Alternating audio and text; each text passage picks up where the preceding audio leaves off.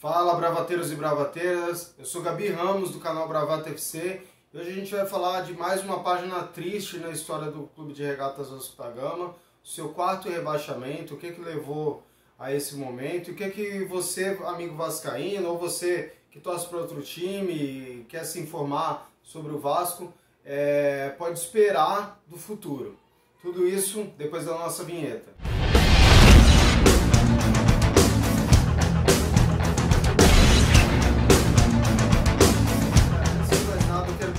Você que ainda não é inscrito no nosso canal, que se inscreva. Sua inscrição é muito importante para o nosso crescimento. Se você puder também, dê o seu like ou o seu dislike, comente nos nossos vídeos, compartilhe com os seus amigos.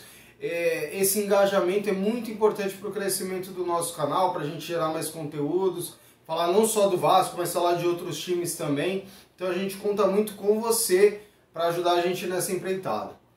Bom, Falando do Vasco agora, sobre o seu quarto rebaixamento, um, para mim, como vascaíno, um momento muito triste da história do clube, mas uma tragédia anunciada.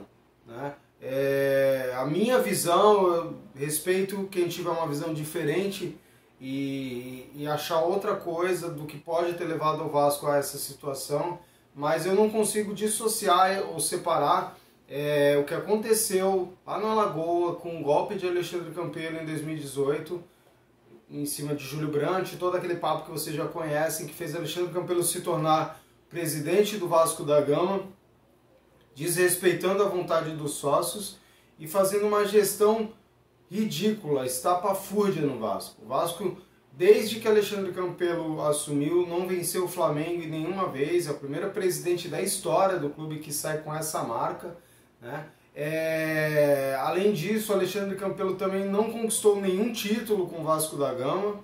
E, por fim, além das vendas ridículas de, de bons talentos da base, você pode pegar aí Matheus Vital, Paulinho, vendas muito abaixo do valor que esses jogadores tinham. O rendimento nos campeonatos brasileiros sempre demonstrou que tinha alguma coisa errado nessa gestão desse cara à frente do Vasco da Gama. Em 2018, o Vasco, no primeiro ano da gestão Alexandre Campelo, o Vasco é, chega na última rodada, dependendo de um empate para se livrar do rebaixamento. O Vasco empata com o Ceará, jogando muito mal, um jogo 0 a 0 que o Ceará teve várias chances e mesmo assim o Vasco conseguiu se livrar. Em 2019, o Vasco também flertou com a zona de rebaixamento durante um bom pedaço do campeonato, mesmo após a chegada do Vanderlei Luxemburgo, e aí, da metade para o final do, do segundo turno, a gente teve um crescimento e conseguiu chegar até a última vaga da Sul-Americana. Que, falando como torcedor, também não é nada honroso, nada que se elogie, nada que se aplauda. Não é uma boa colocação, não é uma colocação à altura da história do Vasco da Gama. No terceiro ano da gestão Alexandre Campelo, a gente chega esse ano de 2020, que foi trágico. Né? O Vasco começa bem o campeonato com o Ramon Menezes. Com o Ramon ainda a gente tem uma sequência muito ruim de resultados, tá? Uma sequência de goleadas, perdemos de goleada para o Atlético Mineiro, para o Bahia, além de uma eliminação medonha contra o Botafogo, que foi o último colocado do Campeonato Brasileiro. E esses resultados acabaram por levar o Ramon Menezes, que à época era o décimo colocado brasileiro, à demissão. Você deve se lembrar, você que já acompanha o Bravata, que eu fui a favor e eu não me arrependo realmente o time mostrava um, uma queda. E à época Alexandre Campelo tinha aspirações políticas no clube. Isso impactou diretamente a nossa campanha. Essas aspirações políticas dele o levaram a contratar Sapinto, um técnico que ninguém conhecia, ninguém sabia quais eram os trabalhos dele, uma grande incógnita, um grande ponto de, de interrogação, mas uma grife. Qual era a grife? O técnico português. Da mesma forma que no Flamengo no ano passado, o Flamengo investiu em Jorge Jesus e deu super certo. Alexandre Campelo é, acreditava muito que se Sapinto viesse é, é, numa contratação diretamente ligada a ele e ao seu vice-presidente de futebol, que era o José Luiz Moreira, essa contratação do Sapinto desse certo no Vasco, seria fundamental o Alexandre Campelo se reeleger como presidente do Vasco. Bom, vocês já sabem o final da história, isso não aconteceu. O Sapinto fez uma campanha ridícula também pelo Vasco, com apenas duas vitórias, 30% de aproveitamento e, e foi demitido quando o Vasco já era o 17 colocado do campeonato. Veio o Vanderlei Luxemburgo, a esperança de dias melhores. Nessa contratação do Vanderlei Luxemburgo, o novo presidente eleito, Jorge Salgado, já teve que intervir, é, porque o Vanderlei, pelo Campelo, as informações que a gente tem, ele não queria vir, tá? E aí a gente contrata o Vanderlei Luxemburgo, que deu certo no ano passado, mas que esse ano, com um time inferior ao do ano passado, se você fizer uma comparação nomes a nomes, você percebe que o time de 2019, apesar de não ser um primor, tinha mais opções do que o de 2020. De 2020 era basicamente os argentinos e a molecada da base. Com uma ou outra contratação feita no meio do campeonato, que nenhuma delas emplacou. Carlinhos não emplacou, Léo Gil não emplacou, Neto Borges não emplacou. Tá? E essas contratações, esse time mal gerido, somado a um salário que nos três anos de gestão nunca ficou em dia, o salário, o Campelo nunca conseguiu deixar o salário em dia, é, somado também à ineficiência do Vanderlei Luxemburgo de criar as melhores alternativas de jogo, já vinha de um mau trabalho no Palmeiras. Eu acreditei porque eu ainda vinha muito com a esperança do rendimento dele de 2019, mas infelizmente não foi suficiente. É, e após também só duas vitórias do Vanderlei Luxemburgo, o Vasco já está virtualmente rebaixado após o resultado do último jogo contra o Corinthians. Esse jogo com o Corinthians é simbólico para quem viu, para quem não viu, para quem quer entender mais ou menos o que aconteceu. É isso, o Vasco é ineficiente em criar chances de gol. Além disso, tinha uma defesa que vivia um mau momento, principalmente nas figuras de Leandro Castan, de Henrique e de Fernando Miguel. Você tem três jogadores da linha de defesa nas talvez suas piores fases. Né? Aí aliado a isso você tem um time que tem dificuldade de criar e um, e um técnico que mesmo no Palmeiras, com muitas opções, nosso amigo Guilherme aqui, que é comentarista aqui do nosso canal, já falava que o jogo do Palmeiras não fluía.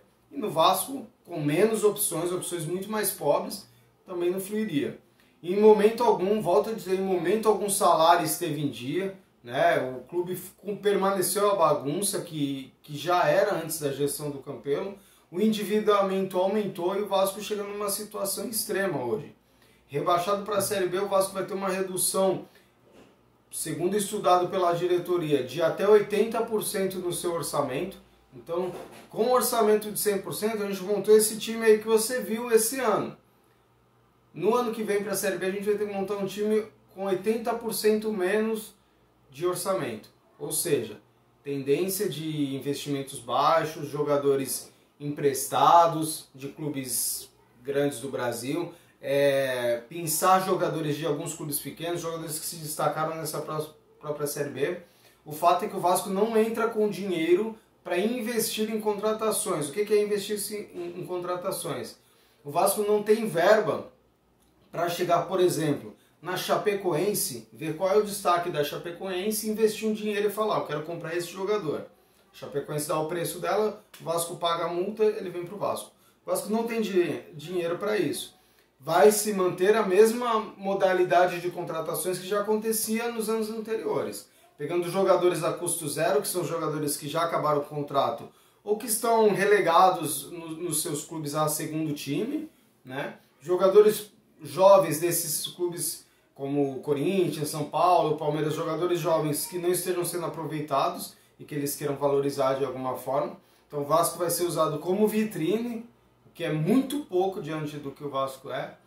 E é isso. O que eu penso é que é, ainda acredito no trabalho do Jorge Salgado pelos que eles mostraram, mais do que pelo que eles mostraram de projeto durante as eleições, do que pelo que eles já vêm fazendo. Né? Algumas, tiveram alguns bons sinais na gestão, outros nem tanto.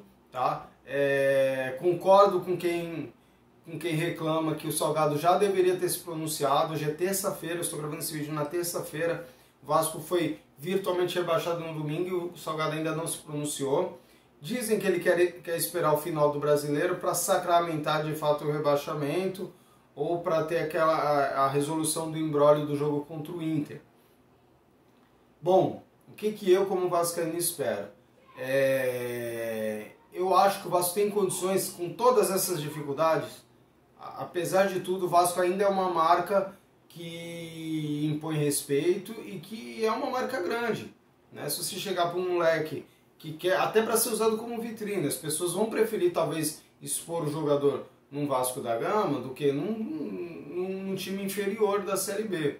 E o Vasco tem que aproveitar isso. Além disso, aproveitar as instalações que temos agora, agora temos o CT, que já é uma melhora, contratar um técnico que entenda a nossa realidade e eu concordo que o Vasco não deva fazer loucuras. A gente está jogando uma Série B. A gente tem que tentar subir sem estourar orçamento, reduzir esse endividamento do Vasco. Hoje o Vasco deve aproximadamente 700 milhões, tendo uma renda média por ano de 250 milhões. Ou seja, é uma tendência a se não cortar o mal pela raiz, o clube vira falência. Tá? Então é, é hora de fechar a casinha, tem que ser ponderado, a torcida vai ter que ser paciente. Eu entendo perfeitamente o torcedor que fala, eu larguei de mão, eu cansei. Isso vai de pessoa para pessoa. Eu não vou chegar aqui e falar, ah, você como vascaíno você tem que apoiar, você tem que continuar. Eu, Gabriel, eu acredito que largar o clube nesse momento é pior. Porque tudo que as pessoas que danificaram o Vasco até agora, principalmente da política, querem é um clube cada vez com menos associados, com menos gente de fora intervindo, com menos opinião da torcida de fora. Quanto menor o clube, quanto mais centralizado ficar as decisões, mais fácil eles manipularem e tirar benefício próprio, como muitos dirigentes do Vasco já tiraram. Então, meu recado para você, torcedor, é respira. Vamos passar esse final de temporada, vamos passar um carioca, mas eu acho que a gente ainda tem que segurar. Mas se você achar que não, que deve largar, que cansou, que quer ir para a praia nos dias dos Jogos do Vasco, embora os Jogos do Vasco vão ser terça e sexta, eu entendo perfeitamente. Entendo perfeitamente. Eu entendo também que o Vasco precisa em algum momento retribuir o seu torcedor tudo que a gente já dedicou a ele.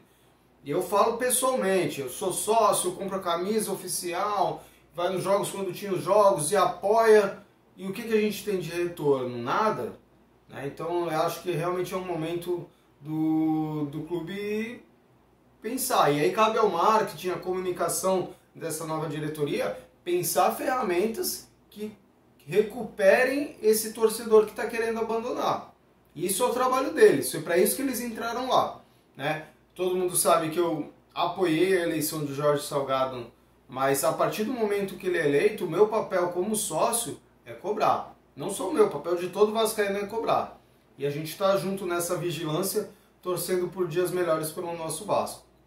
Bom, o vídeo pode ter ficado um pouco longo, mas a gente precisava desabafar um pouquinho sobre o que aconteceu. A galera me cobra também, fala assim, ah, o Vascaíno, Vasco perdeu, o Vascaíno não aparece. O Vascaíno está aqui, está falando, está com o coração machucado, mas é um coração calejado também, que já se acostumou a essas situações e que espera por dias melhores.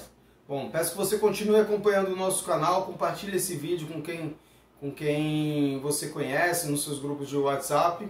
E é isso, até a próxima. Esperamos que a gente volte em live durante após a, a rodada final do Brasileirão. Tá bom? Tamo junto e um forte abraço. Valeu!